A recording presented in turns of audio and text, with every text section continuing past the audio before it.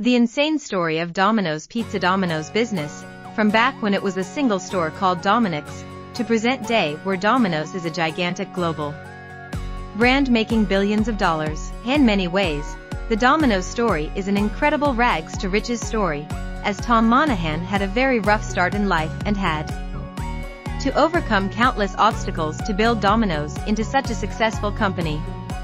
Domino's Pizza has an insane story that revolutionized the pizza industry. It all began in 1960 when two brothers, Tom and James Monaghan, purchased a small pizzeria in Michigan for $900. Little did they know that this would be the start of a billion-dollar empire. Initially named DomiNick's, the brothers eventually changed the name to Domino's Pizza.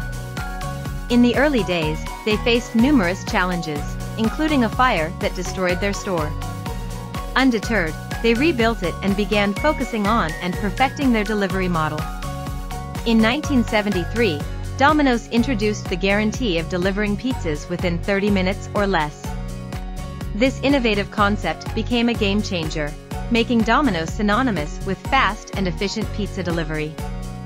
The company's rapid expansion continued throughout the 1980s and 1990s, leading to global dominance.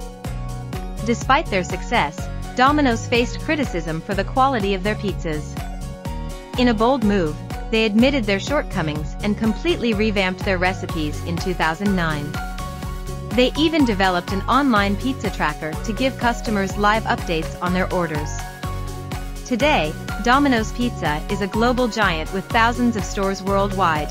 They have embraced technology, introducing ordering through social media, voice-activated assistants, and even self-driving delivery vehicles.